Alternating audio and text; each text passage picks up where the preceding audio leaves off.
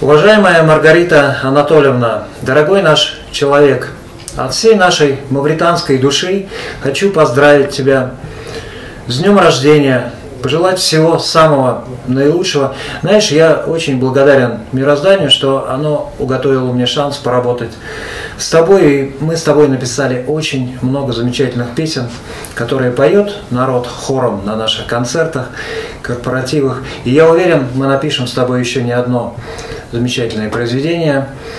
И хочу пожелать тебе самого главного, на мой взгляд, это понимание. Самое главное для творческого человека – это понимание. Рита, мы тебя любим.